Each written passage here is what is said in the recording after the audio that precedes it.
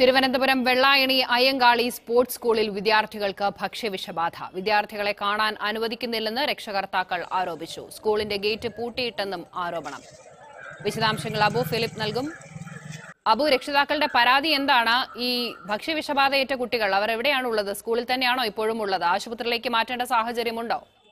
ബിഞ്ചു ഇവിടെ ഭക്ഷ്യവിഷബാധയേറ്റ കുട്ടികളെ സ്പോർട്സ് ഹോസ്റ്റലിൽ നിന്ന് പുറത്തേക്ക് ഇറങ്ങാൻ വേണ്ടിയിട്ട് അധികൃതർ അല്ലെങ്കിൽ സൂപ്രണ്ട് അനുവദിക്കുന്നില്ല എന്നാണ് മാതാപിതാക്കൾ പറയുന്നത്. കേരളത്തിന്റെ മറ്റ് ജില്ലകളിൽ നിന്നും അതുപോലെ തന്നെ ട്രൈബൽ മേഖലയിൽ നിന്നും അടക്കമുള്ള കുട്ടികളാണ് ഇവിടെ ഈ സ്പോർട്സ് ഹോസ്റ്റലിലുള്ളത്.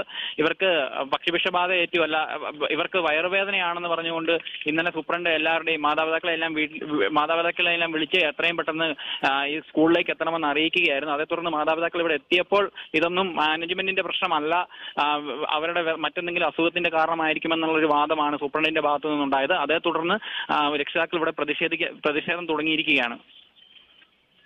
ശരി അബു. ഭക്ഷ്യവിഷബാധയേറ്റ കുട്ടികളെ കാണാൻ അനുവദിക്കുന്നില്ലെന്ന് ആരോപിച്ചാണ് ഇപ്പോൾ അയ്യങ്കാളി സ്പോർട്സ് സ്കൂളിൽ രക്ഷിതാക്കൾ പ്രതിഷേധിക്കുന്നത്.